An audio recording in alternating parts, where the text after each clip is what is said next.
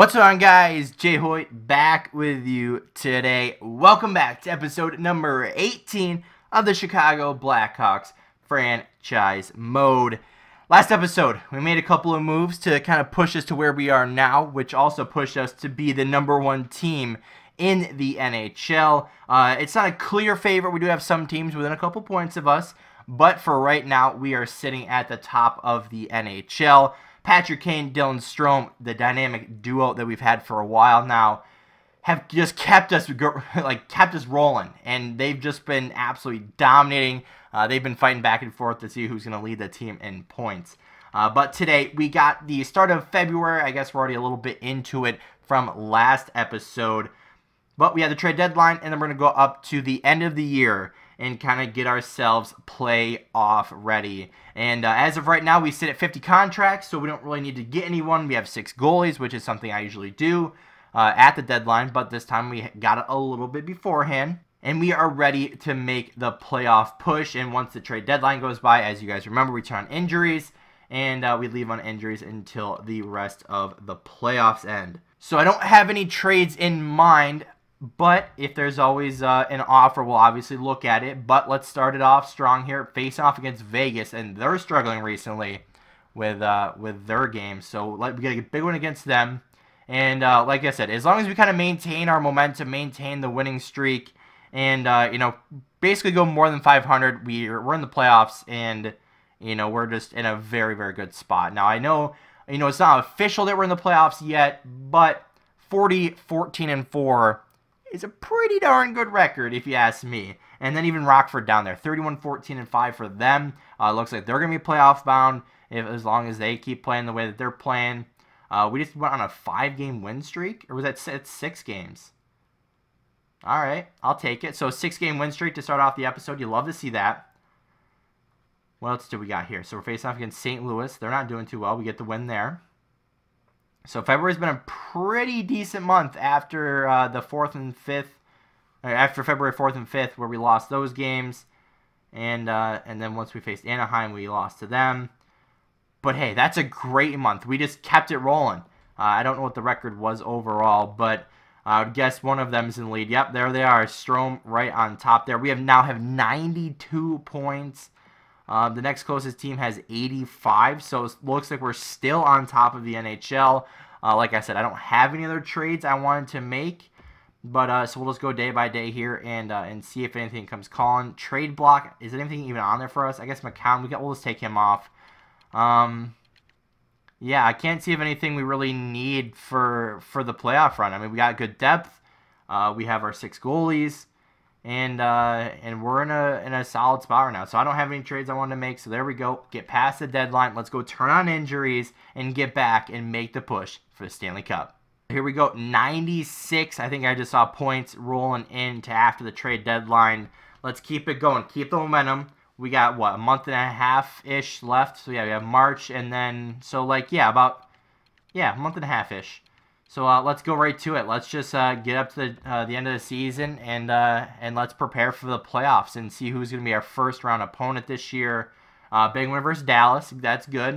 Uh, I don't know how the the playoff picture is kind of kind of wrapping up. Brandon Saad out with an MCL sprain should be out until about April 8th. I think that's right at the start of the playoffs. So we should get him right back to the playoffs. So that's good. Um, I don't think we have anyone up here. Yeah, we don't. So we'll have to to call up somebody. So uh, I guess we have to, to make the roster move first, and then uh, and then get the lines. So who's kind of most deserving down there? Uh, I guess we will find out. Uh, forwards. All right. So uh, I'm gonna go through the players and uh, find the most you know qualified candidate to come up and produce, and then we'll fix the lines, and then we'll get right back into the playoff push. All right, here we are back in. So we called up Brandon Gignac. He had, I believe, 60 points, if not 60 plus points down there, and 59, I think it was, games. Uh, so he comes in, fills in the fourth line role. Uh, there was two guys that were actually battling fourth. Uh, Brandon and uh, Marian Studenic uh, were both, uh, you know, similar kind of points, similar numbers all around. Uh, but we made the decision with uh, and, and left Studenic down there. We had to send Jaros and Ward down, our extra defenseman and goaltender down for salary cap. I couldn't actually call anyone up. Uh, until that happened. But um, let's fix the AHL lines once again, and then uh, and then continue on. All right, we're up to 52 wins. As soon as I come back here, we got another injury, so we'll just do this one live and uh, and re-put this guy in the lineup. This guy's actually been tearing it up.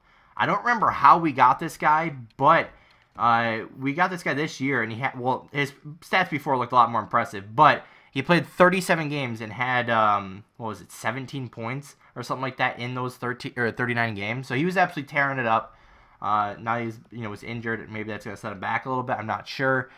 But uh, either way, both of our teams are in a great spot. We're just to replace the player because I don't really feel like dealing with that again. Uh, but 52 wins, 18 losses, and 5 extra time losses. Rockford's playing well. We got another injury in the AHL. Let's fix that again and get back to it. All right, we're right back at it. We got a couple of uh, Eastern Conference teams here in a row. Uh, Brandon Saad, I would love to have him back, but you know, coming off that injury, we're just gonna let him sit, uh, maybe till like the last game, and uh, and kind of put him back in just to kind of make sure he's kind of fully ready to go for the playoffs. So we'll we'll go right before the Minnesota game and uh, and put him in there. It looks like he just recovered from his injury anyway. Uh, but right now, 56, 19, and 6. We're in a great spot. Uh, we'll get to all the standings and stats in a minute. But uh, let's put, uh, not Gignac, let's um, put Saad in the lineup and see what we can do in the last game of the season. And then we'll be ready to prep for the playoffs as uh, hopefully we can avoid the Dallas Stars and go a lot farther than usual. All right, we're at our last game of the regular season. Let's just simulate right through it by advancing the day. And uh, we'll get all the injuries fixed in a minute. And we end the season on a win. We clinched, is it the league too? We clinched the league with 120 points. That's crazy. So we definitely have the number one seed going in. Uh, but let's start right here. At the player stats, team leader in points, once again goes to Patrick Kane, 86 points. Uh, only one behind him, Dylan Strome. Uh, we put DeBrincat up on that line to see what he could do up there, and uh, he performed really well, 65 points. Great year by him. Uh, Duchene, 64 points. Solani, another solid year. I think, what was his first year? He had, what, 34. Okay, so yeah, he's coming into his own right there on the second line. It sucks that we can't put him on the first line. We could. I mean, I could try that line maybe next year in preseason of uh, Solani, Strome, and Kane just to kind of see how that line would work. Uh, then maybe we could put DeBrincat up on the second line with maybe Koivu and Duchene. That'd be a really solid lineup. Uh, but that's all for next year. Michael McLeod, 56 points on the third line. That's pretty incredible. I was not expecting that. Uh, Toews and um, Saad, good years as well. Uh, Con for 28 points, fourth line, playing well. Uh, three game winning goals I see over there. Uh, and then Tatar and Frolik did fine. Uh, minus two. A couple of guys were minus here and there. I don't really mind that that much. Uh, Koivu, if we could kind of keep it out of the box a little bit, that'd be kind of wonderful. Because uh, he's kind of sitting on top by a by oh, basically double, exactly double. So, hmm, all right, so if we can keep him out of the box a little bit, that would be kind of great. Our power play was on fire. 15 power play goals for Patrick Kane. Uh, let's go check on our defense now. Boqvist, of course, our number one guy now. 55 points. He leads the way. Fowler right behind him, 32 points. That's a great year from him. Miller, 20 points. That's solid. Juolevi, 15 points. Keith, uh, 14 points. Severson, like that's exactly what we want. They're all playing well. Their plus minus is good. Uh, low penalty minutes, and uh, our power play guys are getting it done. And uh, that's just a solid effort all around from our defense, from our forwards. And uh, this is exactly what we wanted right here when we when we you know kind of made some moves to get Devin Dubnyk to offer him that one year contract. This is exactly what we wanted. If he comes out and performs, it's great. If he doesn't come out and perform, we trade him away. We get that, you know, free kind of pick or prospect or whatever back. And then Saros, as long as he played well as a backup role this year, hopefully he can learn something and he'll grow for even more next year. And uh, even if Dubnyk doesn't return to us, we'll still have Yar or not Yaros, Saros there as uh, a solid starter. Because even Saros, he's been good since we've had him. I mean, you just look at the numbers. He's been good for us. So uh, the fact that we could bring in a guy like Dubnyk and him to perform this well, you just it's great. It's it was such a good decision to uh, to make that happen. Six shutouts uh, for Dubnyk. That's incredible. Looking down on uh, our goaltenders in the AHL, Hollett and Gravel both played great. Cam Ward, who we got later in the season, uh, he was in the AHL at the time, so his numbers look great, of course. Uh, then we'll take a quick look through the defense. A couple of guys really standing out. Uh, then we put in uh, the guys that we had to send down just to get them some playing time, get them back in form. Uh, but a couple guys really standing out down there. And, and there you see it. Studenic, 72 points. It was a battle between him and Gignac. And, you know, Gignac did actually play really well. I don't think I even mentioned that early on in the video. He put up 10 points while he was up here. 10 points. He had two he had two power play goals or points that is.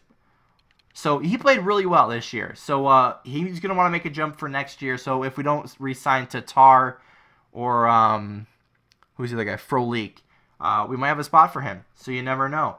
But um, but yeah, Rockford played great. We played great. We secured the number one seed in the NHL. We'll go through the standings real quick and uh, that's the Central Division. But uh, entire league, we should be on top. There we are, 120 points. Final record of 57, 19, and 6. Uh, what do I even say to that? That's just an incredible year all around. Uh, let's go right through it. Goals for, so we're number one. Goals for, we're on top. Goals against, uh, we're right there. We're right at the bottom, tied for second to least. Uh, goals against per game. Like I said, it didn't look at goals for per game, but we're probably at number one. There we go. Goals against per game. We're number or tied for number uh, two overall. Power play goals. Uh, yeah, we're on top there.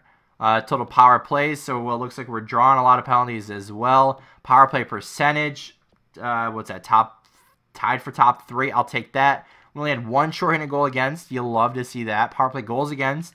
So all right, that leads to good things. Power uh, penalty kill top four. I should just say top five. We had some power, uh, shorthanded goals. And then you look at the records, speak for themselves 28, 10, and 3 at home, 29, 9, and 3 away. And our last 10 has been great. Uh, all around, just great year. Um, if we were to kind of hope for a finalist, it'd be Washington, just to kind of you know get the best of uh, both worlds there. And uh, you know, I guess let's go see uh, what the playoff bracket looks like. So the first round, we're going to end up facing off against the Colorado Avalanche. But as promised, let's go take a look at the playoff bracket. So as you can see on your screen now, we got the playoff tree. And it looks like Dallas, once again, makes the playoffs. So uh, we do have a chance to meet up with them in the second round. But we have Dallas, Winnipeg, we have uh, Chicago, and uh, Colorado, Arizona, Calgary, Vancouver, and Nashville. Uh, over on the eastern side, we have Pittsburgh and Philadelphia, Washington, Carolina, Boston, Toronto, and Tampa Bay, Ottawa. I'm really liking those Eastern Conference storylines over there. That's pretty crazy. I mean, uh, what was it? Boston, Toronto was what the battle of the was it the second round or the first round? One of the two. Uh, Washington, Carolina. That was a battle of the second round. I know uh, Philly didn't make it this year, but Pittsburgh and Philly have a long history there. Uh, and then I don't believe the AHL playoff or regular season is done yet, so we can't take a look at that. Uh, but like usual, let's uh, let's go scout our opponent here in uh, in Colorado. So I think this is actually the first time we're facing them, if I'm not mistaken. But let's go take a look. Uh, okay, so they still got the top line. These guys got Kakko. all right. So uh, Tyson Jost there. All right. So they're very, very top heavy, uh, but they do have um, a more of a defensive bottom six. So all right. Uh, second line's kind of weak though. They, do they? I want to. We're gonna check injuries here in a second, but defense. I don't want to say weak as well. Uh, obviously, we started after the uh, the roster update, so they don't have Cale Makar.